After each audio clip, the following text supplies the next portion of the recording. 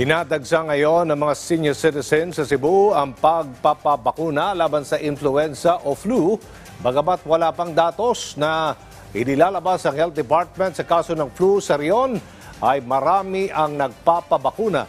Yan ang ulat ni Jesse Atienza ng PTV Cebu. Kahit maalinsangan ang panahon, matiyagang nakapila ang mga lolo't lola sa Department of Health Region 7 Office upang magpaturok ng bakuna laban sa influenza o flu.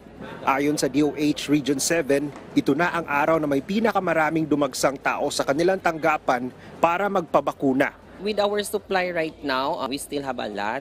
But with the um, demand of the public to avail, so um, hoping that um, this can reach uh, more of our clients. So until the supply lasts, we wanted that all of the vaccines will be utilized as soon as possible. Prioridad sa ngayon ng DOH na maturukan ng bakuna ang mga senior citizen, healthcare workers, mga nagdadalang tao, mga with comorbidities, uniformed personnel at panghuli ang healthy adults. Nang malaman ni Nanay Ana na pasok siya sa mga prioridad na mabakunahan, hindi na siyang nag-atubili pa. Po, syempre kasi senior na. First time ko. Ito. Oo. Bakit? Ay, hindi ko Anong wala. sa inyo? Kasi first time, Hindi kasi iba na yung klima ngayon talaga. Mahirap na. May, ma- may mga apo pa naman tayo.